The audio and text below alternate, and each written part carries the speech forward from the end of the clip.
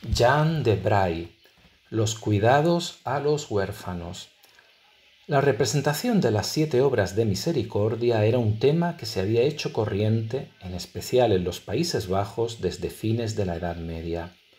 Este tema se refería a un texto del monje Ludolfus de Sajonia, inspirado en un pasaje de San Mateo, donde se dice que el buen cristiano puede ganar el cielo cumpliendo los siete actos caritativos siguientes dar de comer al hambriento, dar de beber al sediento, dar posada al peregrino, vestir al desnudo, asistir a los enfermos, visitar a los presos y enterrar a los muertos. Es cierto que no es del hermano Ludolfus de donde los protestantes, después de la Reforma, tomaban sus preceptos, pero los holandeses no dejaron de hacer obras de caridad las tareas que incumbían antes a la Iglesia católica correspondieron a los reformados. Las ciudades holandesas tuvieron sus orfanatos, sus hospitales y otras instituciones de beneficencia, y en mayor número que ningún otro país del mundo.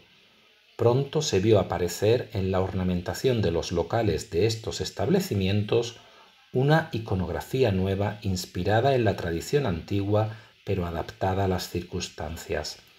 Cuando en 1663 se encargó a Jan de Bray que ejecutara un cuadro para la Casa de los Niños Pobres de Haarlem, realizó una feliz síntesis de lo antiguo y lo moderno en una obra que refleja perfectamente su alegría y su equilibrio espiritual. A la izquierda, una mujer está vistiendo a dos niños. Está ayudando a un muchacho a ponerse una chaqueta nueva negra con una manga roja. Ese era el uniforme de los huérfanos de Harlem y así ha continuado hasta principios de nuestro siglo. Otra mujer a la derecha reparte pan, rebanadas de pan con manteca como aún se comen hoy en los Países Bajos. Una huérfana, reconocible por su vestido negro y su manga roja, coge con gratitud una gruesa rebanada untada de mantequilla. En primer plano, un chico come glotonamente mientras que otro se pone con visible satisfacción el uniforme del hospicio. Detrás de la buena señora del pan, un niño paliducho bebe en una vasija que le alargan. Está pálido, pero es el único.